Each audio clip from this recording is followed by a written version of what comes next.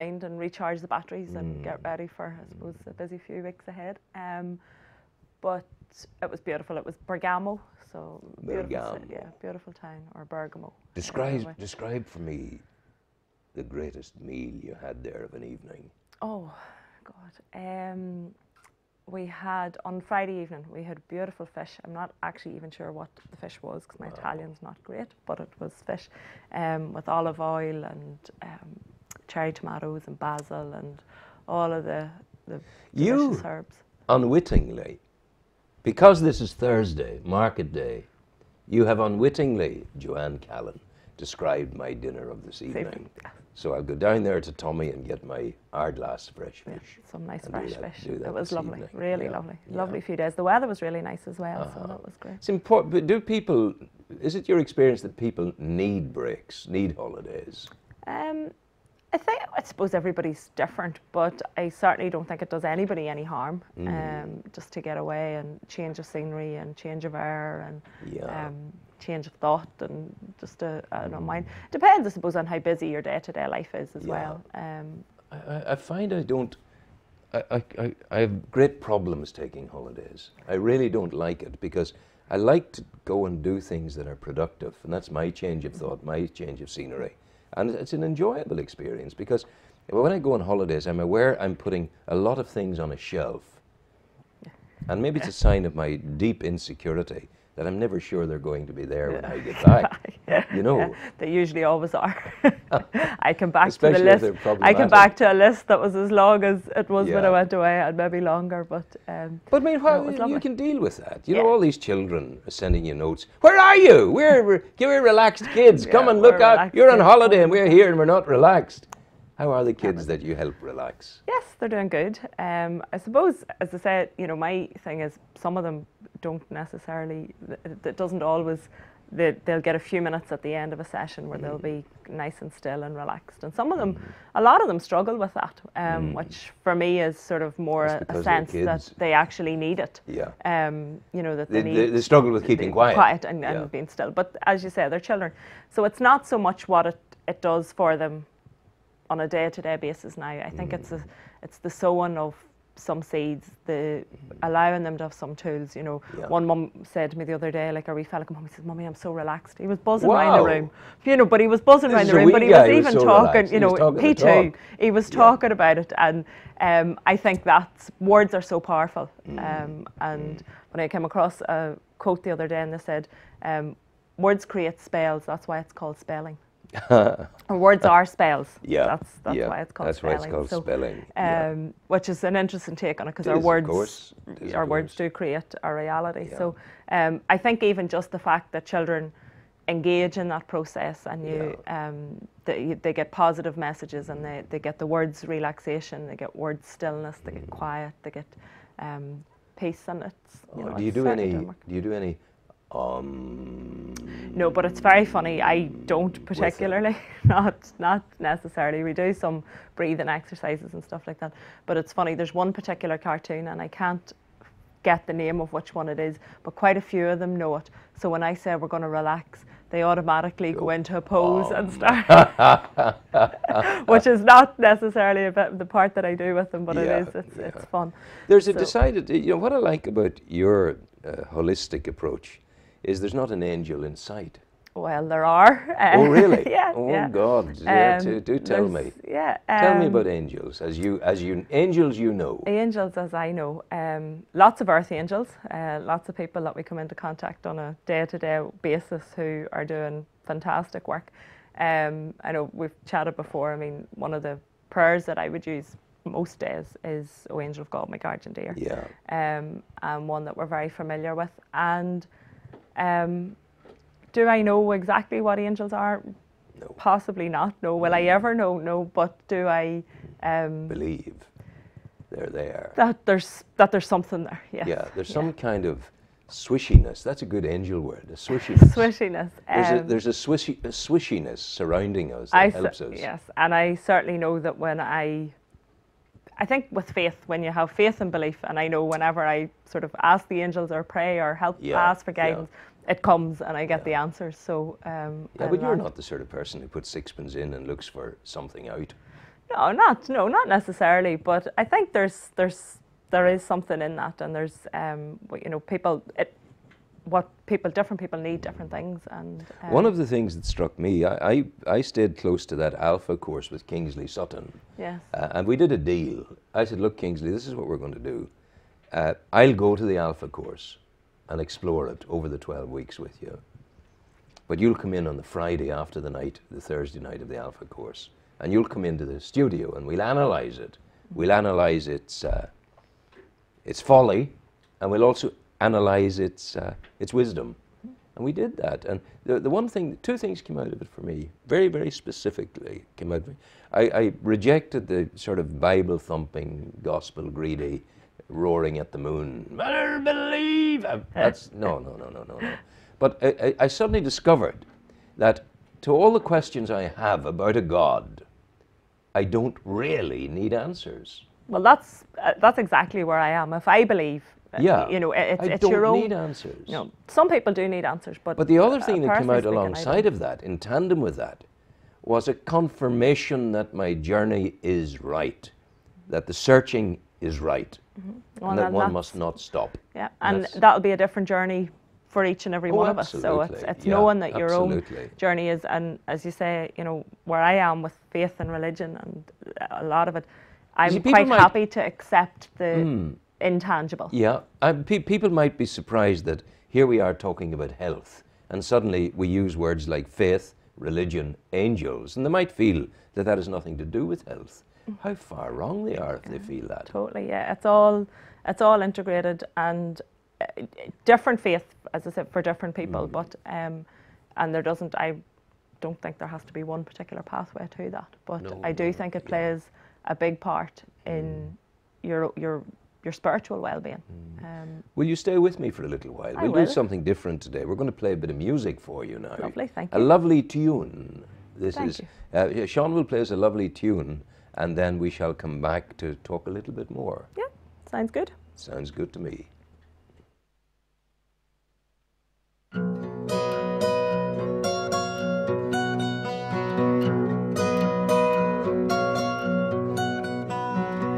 through the endless of wonder by the throbbing light machine. In the tea trance or under orders from the king and queen. Songs to aging children come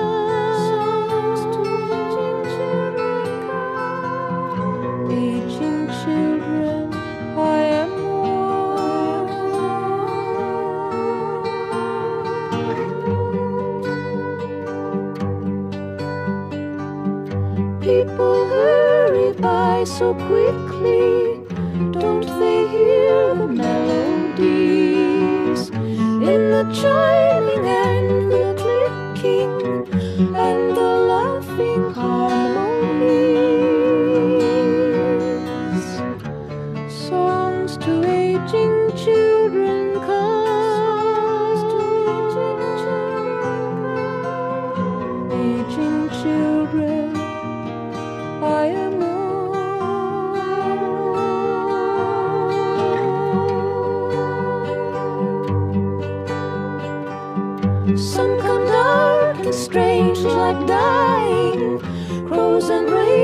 ravens whistling. Lines of weeping, strings of crying, so much sad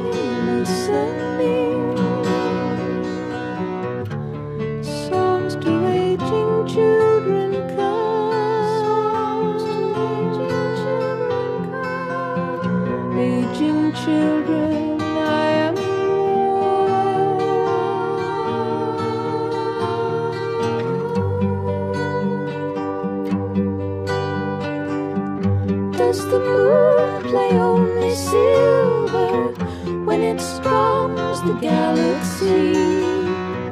Dying roses, will they will their perfume rhapsodies to me?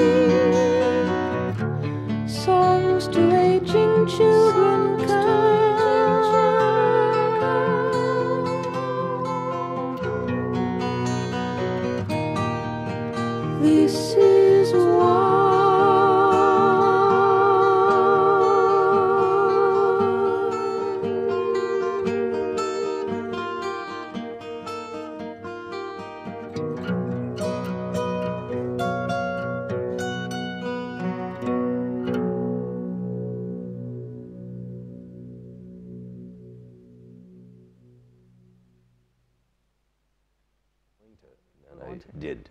The deal was done. Destination Newry, how are you? That's the camera. Smile at the That's camera. the camera. I'll smile at the camera. Don't be looking at the monitor there. I know it's thrown It- me here. was The new studio's thrown me this yeah. morning. We've between looking at the monitor, looking at you, and looking at Yeah. the camera, I'm getting. Well, I find it most agreeable when you're looking at me, so please keep doing that. I'll, I'll, I'll keep looking this direction. yeah, it's Destination Newry. It's the morning program. Good morning, Newry, and Morning in the World. I'm with Joanne, Joanne Callan of Destination Wellbeing. And we were musing there before the music that uh, it's strange how people take a spirit, the holistic approach to healing, and you have the all sorts of things like the foot rubbing. What's that called? It's Reflexology. Reflexology. Sorry, I'm, I'm not being You're funny. I just couldn't remember. Couldn't get the word I'm out. very old. And uh, then there's things like Reiki and Rahanni and stuff like this, Mm-hmm. uh, which takes you on a very strange journey. And um, there's things like spirituality, angels we talked about. Mm-hmm. Incorporated in. And isn't it strange that people who don't know anything about the metaphysical side of life, whatever that means, I think it's the right word, mm -hmm. uh, that, that. they instantly reject notions of spirituality, when spirituality can be, and maybe should be, at the very heart of our healing. that well, very often, um, that's the approach that the vast majority of holistic therapists will take. That it's the balanced approach. There's the physical element, the spiritual element, and the mm. emotional, mental element to mm-hmm. to getting the the balance and getting the body in balance and getting the mind in balance, and then allowing the spirit to be in balance as well. So What do you mm. see as uh, what do you where does where does I suppose the ultimate question is where does excellence go? Where does goodness go when it dies? Where is Mozart now? Where is Einstein? I don't know that you know. you know does it does it ever really fully die or is it you know does it Is it is still it held on still swirling, Swirling, around? yeah. I I think it is. I Because if you take a would be my radio, for instance, just on a on a purely uh, on a uh, from a physics point of view, a radio signal that we're generating now, well, we're not generating a radio signal, but if we were radio and television signals uh, on the air, pulsing out electromagnetic beams, these things go on forever into the universe. Yeah. So all, all I things think, are yeah, possible. All things exist and, and sort of reinvent themselves and Mm. take different paths at different stages. What's on your program this week? This week I have um, Martin Rafferty, and Martin is a Who poet, um, very spiritual poet actually as well. Um, Oh, is there a fellow called Martin Rafferty? We would see him on Facebook. Um, No, different fellow. Would. no, It's Brendan it's a Rafferty, I know. I think it's a I different greet you this morning, Brendan Rafferty. Um, this guy, uh, Martin Rafferty's from Drogheda. Um, he's a counsellor working primarily with addiction services um, in Dublin, and but he's also a very spiritual poet. He's a lay Dominican um, and writes a lot of very spiritual poetry. so Yeah. quite interesting that we touched on the, the spirituality. Just came by morning. chance, really. Yeah. Well, or because does we anything come by chance? Yeah, does anything That's, come by does, chance? um, that's that's where the real spirituality comes in, isn't it? Does ah, it yeah. is it is it coincidence or is uh, there a, a bigger plan at work? And that's a whole other Mm. conversation. But um, yes, so that should be enjoy- uh, enjoyable today, and it brings, I suppose, Martin talks about men's mental health as well, and um, the the idea that Mm. What are the issues of men's mental health? I think the at the core of the issue, um, certainly my understanding, and that's not I won't claim to be an expert in it, is that men are often find it quite difficult to ask for help. Um, Health help. health help, help really in general. I mean, a man's very, very difficult to get a lot of men. I know I'm generalising here, even to ask for directions if they're lost. so it's, Mm. Yeah. Mm. and that's a metaphor for everything else that I, goes I on would be well. So I would be totally committed to uh, health wise and go for it and look after myself. But uh, I wouldn't be I wouldn't be heavily into asking people for help. I need help to get my car going, or I need help with my bank. I need help, something. I wouldn't do it just. yeah, you feel it's. Uh, but does that lead to mental imbalance? Um, not again, not for everybody. We're all different, but um, depending on what's going on around different individuals, if everything else in life's fine, not asking for help is okay. But if you've suffered a bereavement or you've suffered um, maybe job loss or you're not feeling um, particularly good about yourself and where life is, then that can definitely take people off on different tracks. Someone said to me recently, it was almost said as an accusation, but not really, that I, uh, my personality, my character was that I, I kept people away from me. I stayed alone. Now, I don't know. I, I, I do think that's true because I've got to a stage in my life, uh, people, uh, they don't really impress me anymore because I've seen it all. I've had the ups, I've had the downs, I've had the glads, I've had the sads, Yeah. the disappointments, you know. And I felt I've just now on a track that I've chosen and I operate on that track and I get a lot of satisfaction from Yeah, it. and it's a quiet thing, it's, you know. it's each everybody to their own is, is how I really think Mm. Yeah. Mm. life is. Whatever decision people make. But make. sometimes their own can be grievously harmful Yeah. because they can be introspective, they can be out of out of the uh, out of uh, out of context in their way of living, in the sense that they're trying to take from the pot that which isn't in the pot. But I think the only person that can ever change that is the individual Mm. themselves. So whether we think they're on the right path or we think they're not until they realise it, and that's, I suppose, even whether we look at 12 step programs or we look at. What's a um, twelve-step program? When we look at. Uh, You sprung that one on me. Addiction services. So we look at um, Alcoholics Anonymous or any of those. Um, there's Cocaine Anonymous now, there's lots Oh of God. different ones.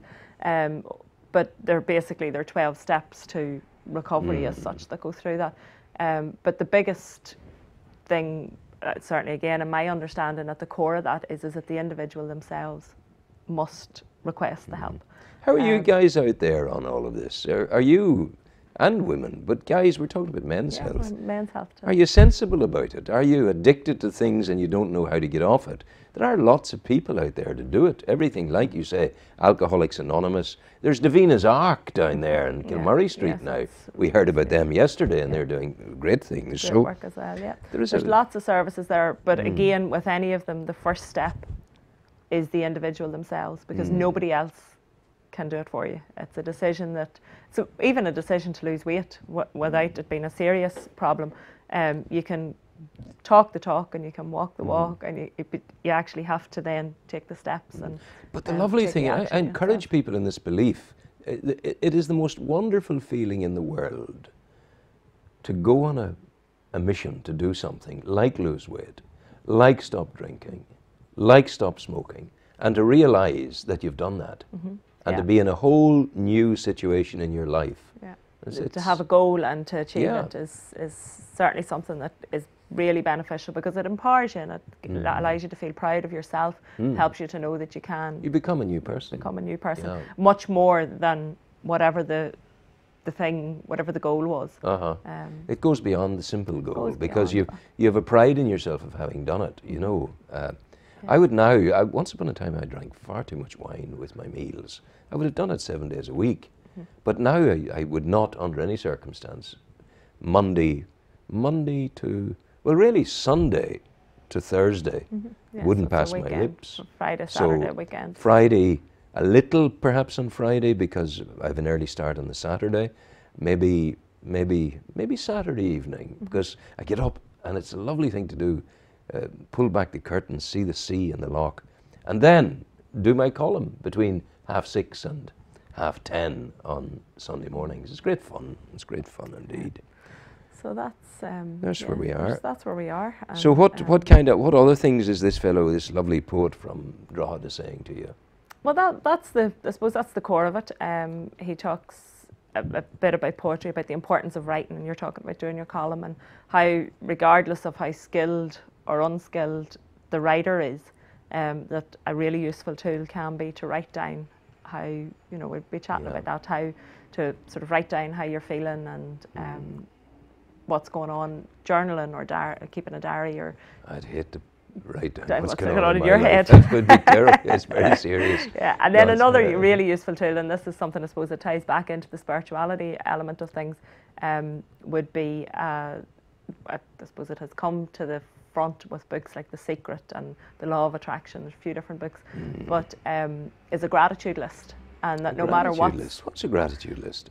It's Gratitude list? gratitude list. Yeah, the idea is at night time or at, in the morning or I suppose a certain time of a day, whatever suits the individual, to list out five or ten things that you're grateful for in that day, so that you focus on what's good rather than focus. But a shouldn't we do that throughout the day, every day? Well- as as as the as the bell rings on each excellence, say, "Wow, thank you, Lord, that's good." Well, that's that's obviously the ideal, but Hmm. not everybody takes the time to do that, and not everybody can is in a place where they Hmm. can recognise small blessings. So sometimes life can be thrown its challenges, and you need to very consciously think about what's good because Hmm. where you are in your own headspace is that you're you're not focused on what's. And we're really particularly good. talking here about a, a journey towards good mental health. good mental health, but and and then it's taken it. You know, a lot of the time we talk about um, getting ourselves to a point of kind of balance and equilibrium, but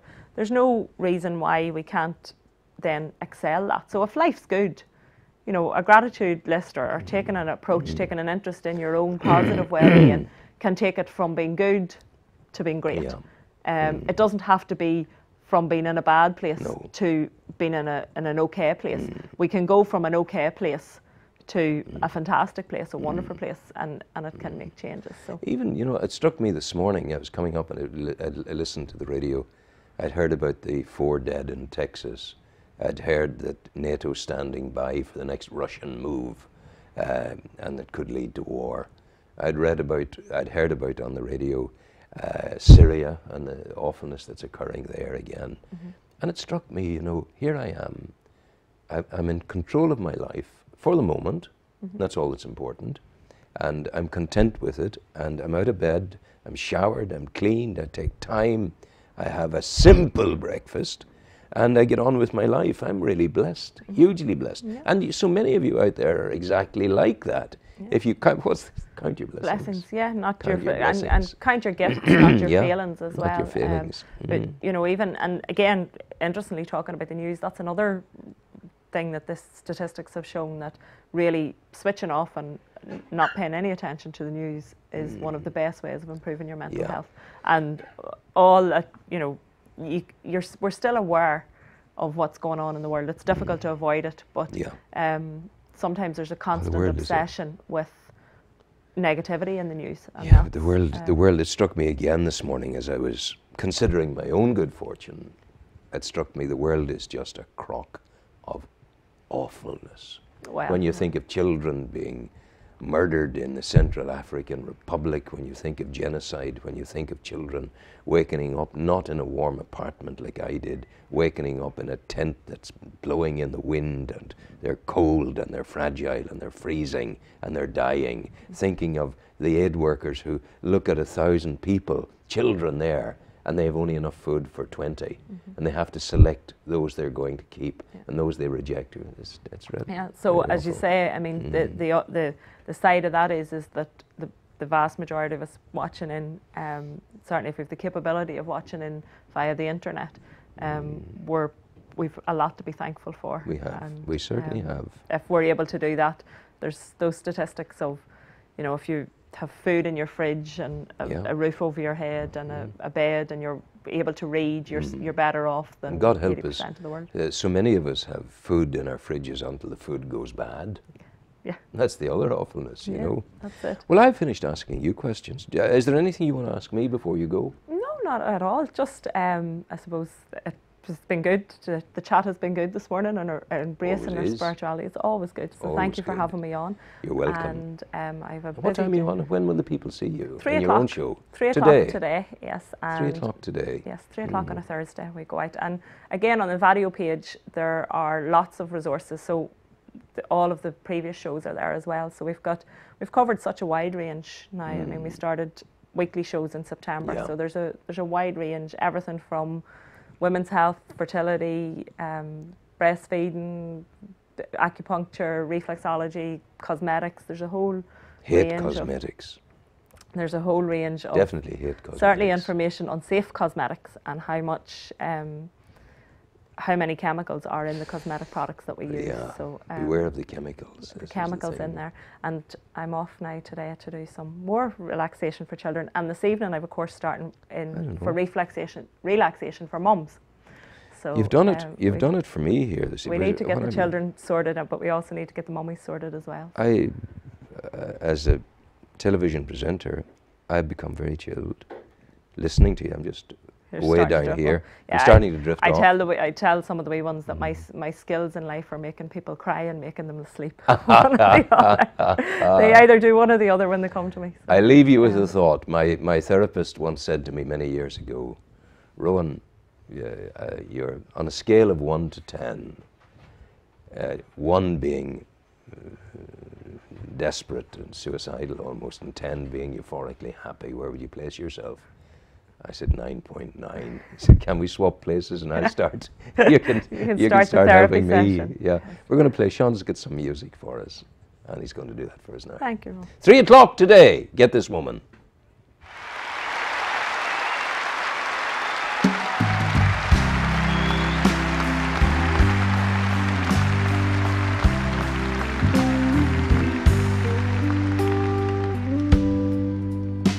I've heard there was a secret chord that David played and it pleased the Lord. But you don't really care for music, do you?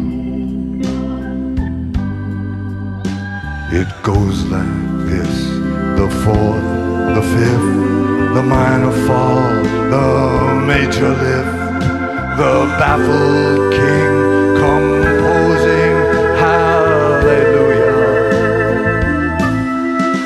Hallelujah.